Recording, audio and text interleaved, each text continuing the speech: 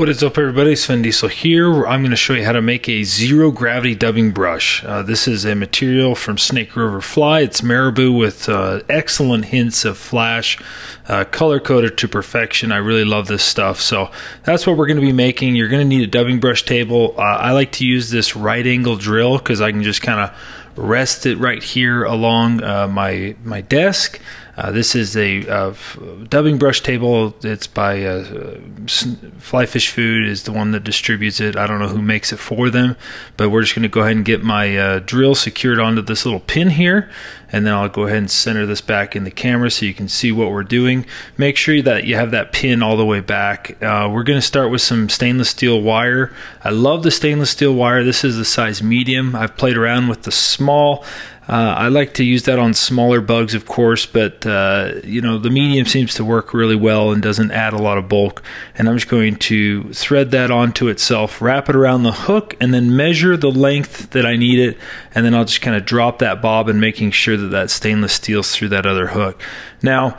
Uh, for this, this is the product. It's zero gravity dubbing. It's, uh, as mentioned earlier, it's marabou with hints of flash really really awesome blends. Um, I'm going to pull out a pretty good chunk here and we're going to basically um, pull out little sections of it at a time. It's easier to work with a smaller amount of material.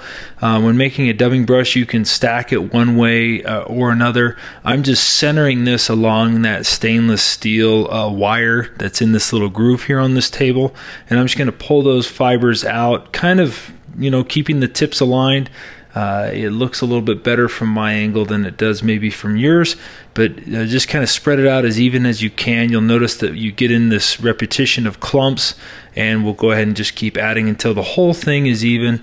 And then I'll just inspect it to make sure I've got pretty good even spacing. If you see some fibers that are kind of, you know, out of the ordinary, you can go ahead and adjust it at this point. And now what we're going to do, this is, uh, uh, we're going to go ahead and cut our wire to the length. It makes it a little bit easier for threading that uh, through that little eyelet. And so I'm just going to go ahead and cut that. and then what I want to do is I'm going to use some of this uh, low tack wax from J Stockard. I'm going to go ahead and coat this uh, wire just up and down once or twice and then I'll leave it with a loose band. I don't want it to touch, and I'm kind of orienting it right where it's going to land, holding it above with my left hand, and then I'm going to fish this tag in through this little ring eyelet, and then as I pull it tight, I'm going to drop the wire straight down. Uh, I found that if you adjust that wire, tweak it, or you know whatever, you could cause your fibers to misalign.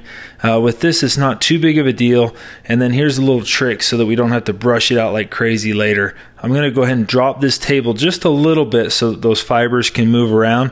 You can see towards the drill how they're clumped together, but here towards the middle and the end where I was able to drop that table slightly, we're not going to need to brush those as much. Now the key is you want to watch this uh, this eyelet, and as I'm holding tension against um, basically pulling outwards, but I'm going to let that drill walk in as the wire gets tighter. Otherwise, you'll snap it.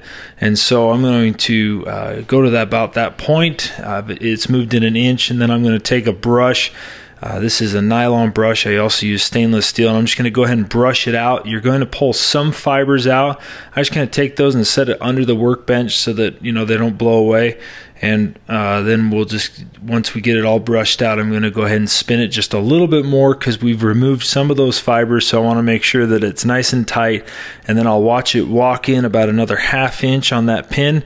And about as soon as my drill hits that board is when it's about ready to either one snap or be done. And so i'll take my wire snips trim the end there and then I'll just kind of fish it off this little hook here. And there we go. That is the zero gravity um, brush in an olive. You can see that this is uh, really, really super buggy. It's got a really good mixture of olive, marabou, and flash, and it's pretty easy to make. This will just save some time at the vise.